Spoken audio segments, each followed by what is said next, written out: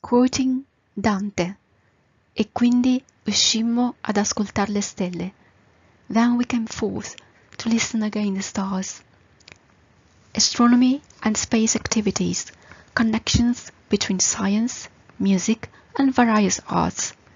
Garramone, Tosti, De Micco, Alimenti, Cipollone, Pagano, with the support of the Unione Astrofili Italiani, sezione nazionale di divulgazione inclusiva, and in collaboration with IRIFOR of Unione Italiana, Ciechi e Ipovedenti, April 2020.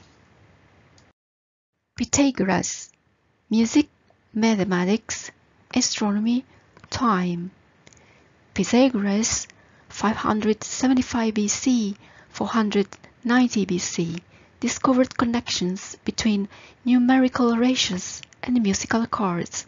Moreover, Pythagorean philosophers discovered that orbits of the planets are periodical and each orbit duration relates to its planet distance with respect from the Sun. This concept had been summed up by a definition, music of the stars, meaning that arithmetic progression of the planet distances are similar to those intervals between the notes emitted by musical chords. In this way, a link between music, mathematics, astronomy, and time could be established. Skolion of Seikilos Connection between music, poetry, time, and consequently astronomy are wonderfully represented by the Skolion of Seikilos. Engraved on a pillar, we find what may be considered the most ancient piece of music available. It had been composed between the 2nd century BC and the 1st century AD.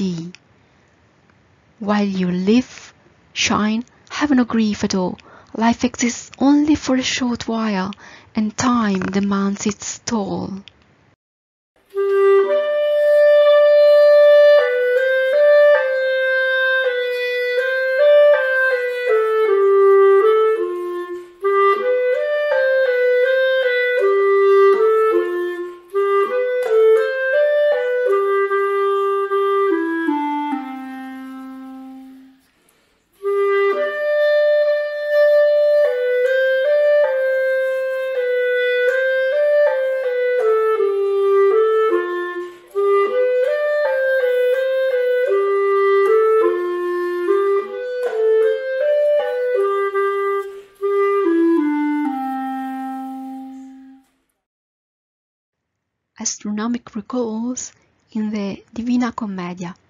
By Dante Alighieri.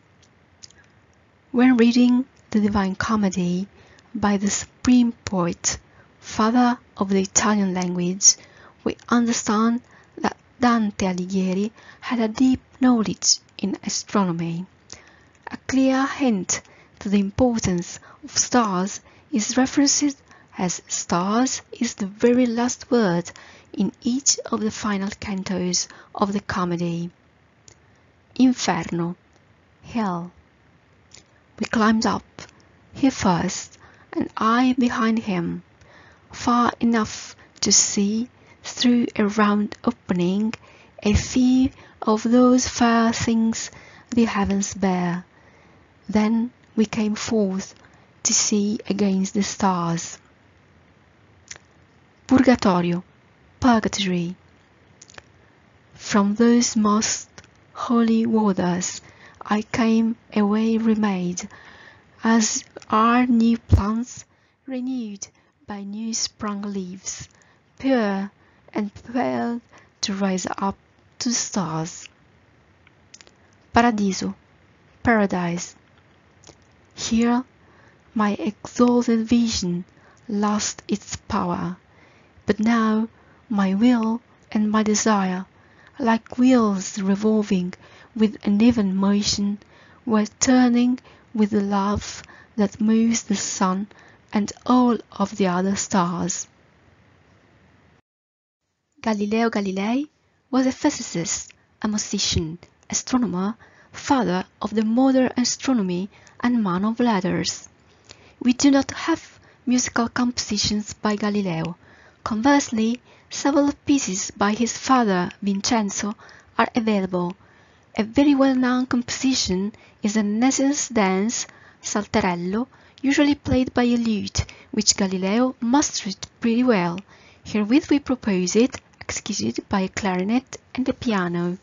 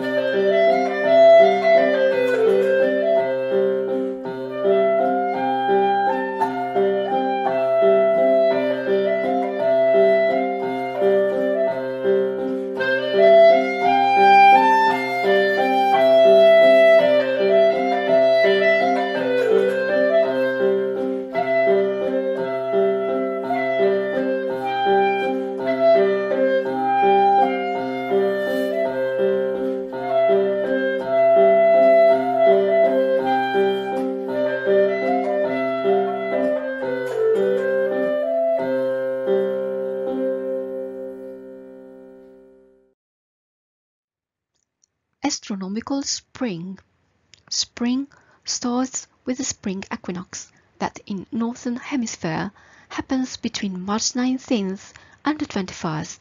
Traditionally, spring starts on March 21st in the Western culture and in Christian tradition. Same as the autumn equinox, on this day, hours of dark and hours of light are in equal number. After that, daylight time's length increases until summer solstice. In the southern hemisphere, spring goes from September 23rd to December 21st, corresponding to autumn in the northern hemisphere. It is clear that this astronomical event, marking the end of the winter season, was of great importance for the agriculture. For this reason, in every culture, those days preceding the spring equinox were devoted to celebrations. Christianity simply replaced the previous Roman and pagan celebrations. In this period, known as Carnival, people used to arrange parties and write sarcastic or ironic essays.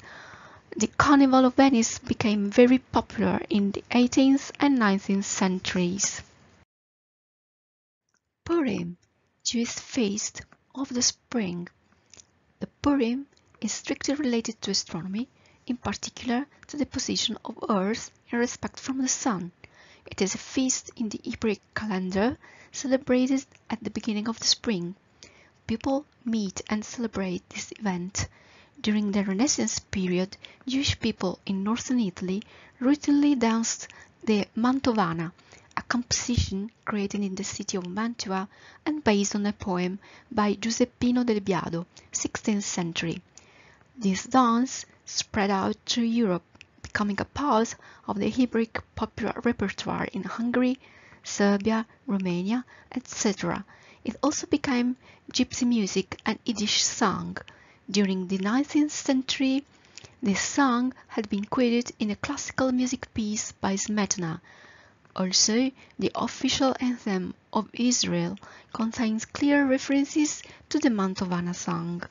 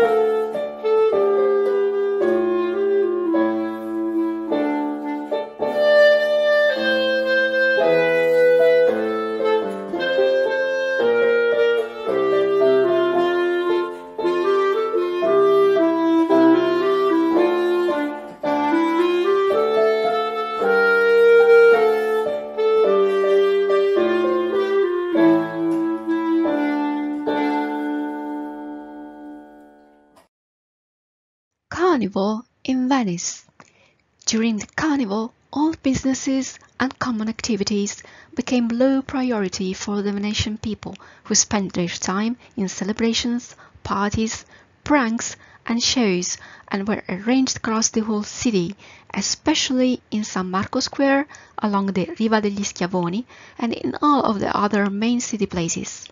There were attractions of all kinds, jugglers, acrobats, musicians, dancers, animal shows, entertained a multicolored audience of all ages and social classes, all wearing fanciful and assorted costumes. Peddlers selling all kinds of goods from seasoned fruit to rich clothes to spices and food imported from remote countries, especially from the Far East. In fact, Venice held close business relationships with those countries since the famous Marco Polo's travel along the Silk Road. In addition to larger presentations in open spaces, Private shows of any kind, sometimes very transgressive, took place in private locations, theaters, bars. Grand and long-lasting parties and masquerades were hosted in the famous Venetian palaces. Venice Carnival reached its peak and international fame in the 18th century, becoming famous across Europe and popular destination for thousands of visitors. Niccolò Paganini the famous musicians and violinists in 1829 got inspired by the Carnival of Venice to write a well-known musical composition, the variations O Mamma, Mamma Mia from Il Carnevale di Venezia. The appealing of the carnival celebrations resulted in the virtuoso mastering violin in this composition that resembles the joy and light-heartedness of the carnival. Lastly, there is another influence of the carnival in music, the scherzo and the burla composition styles.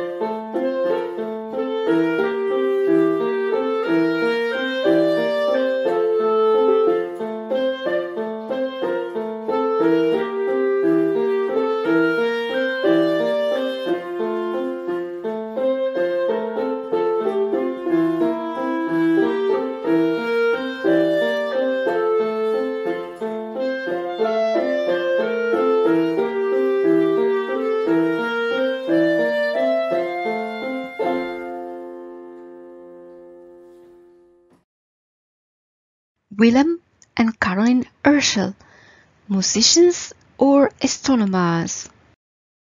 Wilhelm Herschel was a talented telescope maker and he made relevant discoveries using the reflector telescopes he had built amongst the most powerful of that time. He discovered Uranus and some of its satellites, example Titania and Oberon. 25 years had to pass before anyone else could observe them again. In 1789 he was the first to observe Mimas and Enceladus, satellites of Saturn. Herschel is credited for the discovery of the infrared radiation, thanks to an ingenious experiment in 1800. While using a thermometer to measure the temperature of the various colored areas of a spectrum produced by a glass prism, he noticed that the thermometer was showing heat also where there was no more visible light. It was the first experiment showing that heat could be transmitted by means of an invisible form of energy. Caroline, Wilhelm's sister and 12 years younger, was an astronomer, mathematician, and opera singer. She supported actively her brother and was the first female astronomer of the modern age to give an important contribution to astronomy. Probably she was the first woman to discover a comet. Both Wilhelm and Caroline were also excellent musicians. Concertos for oboe and orchestra composed by Wilhelm are regularly played also today.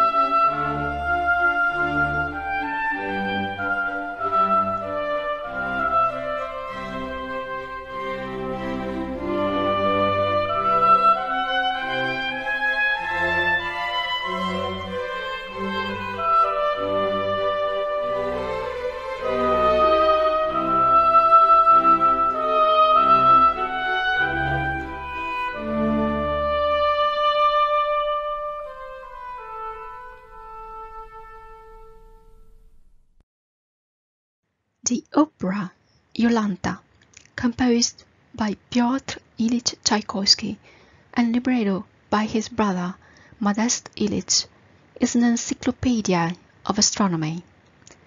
Vaudémont declares his love for Yolanta, a blind girl who is unaware of her condition. To make his declaration, he recalls the light of the sun, the light of the moon, the light of the stars. Vaudémont The splendid prime of creation, the first gift by the Creator to the world, a manifestation of God's glory, the best jewel in his crown, the shine of the sun, sky, stars, imbues the world on earth, the whole nature and creatures with awesome beauty. Those who do not know a blessing of light cannot love so much. The God's word shrouded in darkness revere God in darkness as in light. Yolanta is deeply bewildered by Vaudémont declaring his love by a speech about the sun and the moon. Yolanta. He told me about the sun rays and the moon's pale halo, and he commiserated my fate. Oh, what a revelation! Such a fever he let arise in me! His speech so soft and ardent, delicate, yet shaking, I couldn't but remain listening in rapture. He enlightened my spirit.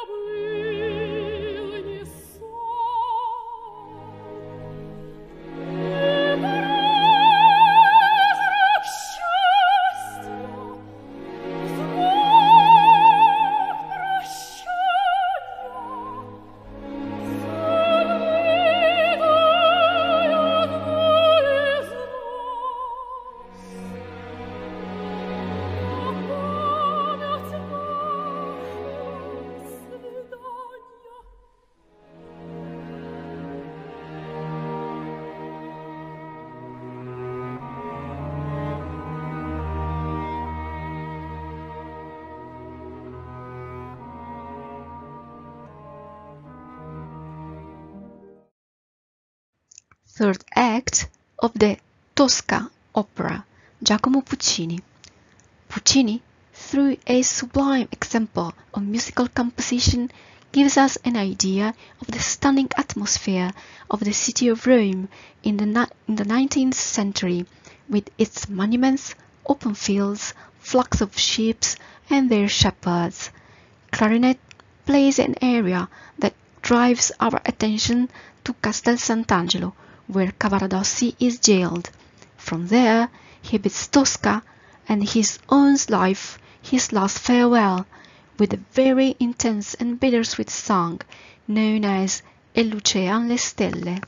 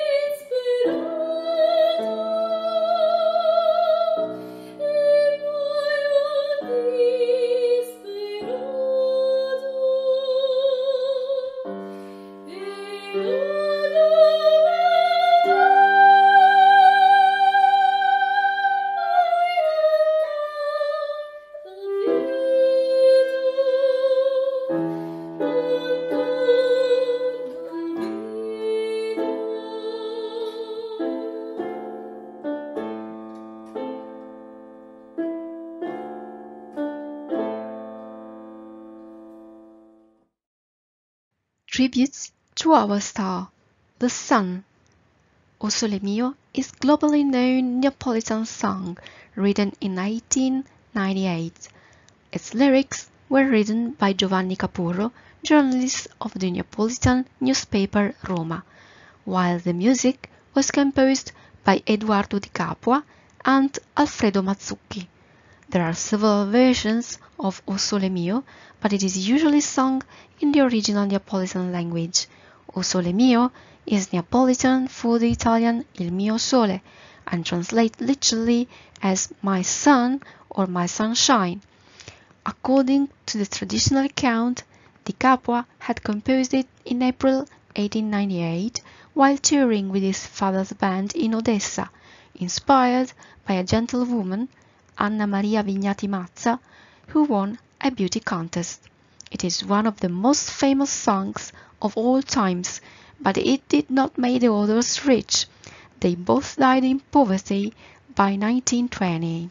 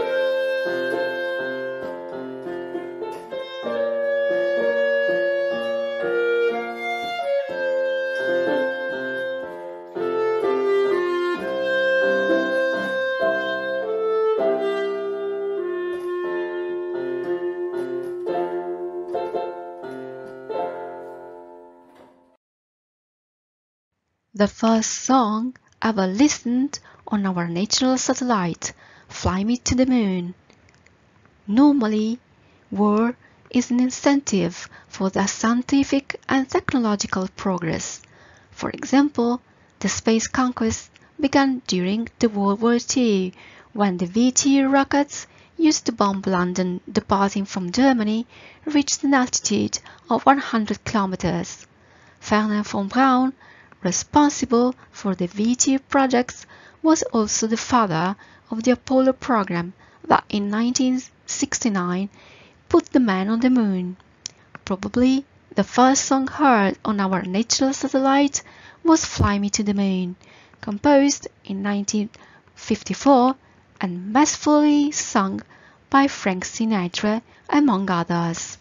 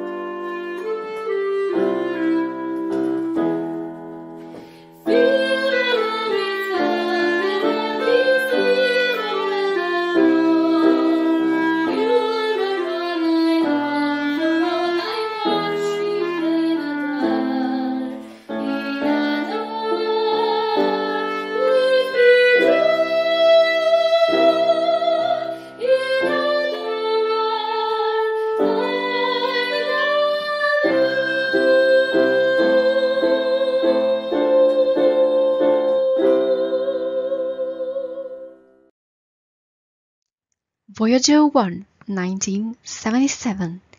Voyager 1 is a space probe that was launched by NASA on September 5, 1977. Still operational for 42 years, 7 months and 21 days as of April 26, 2020, spacecraft communicates with the Deep Space Network to receive routine commands and transmit data to Earth. Real-time distance and velocity data is provided by NASA and JPL at a distance of 148.61 AU, which is 22.2 billion kilometers from Earth as of March 12, 2020. It is the man-made object most distant from Earth. Voyager space probe carries a gold-plated audiovisual disc should the spacecraft ever be found by intelligent life forms from other planetary systems. The disk carries photos of Earth and its life forms and a range of scientific information. Golden Disk content includes greetings in 55 languages, the songs of Earth, 90 minutes of musical masterpieces. One of these musical recordings is Melancholy Blues by Louis Armstrong.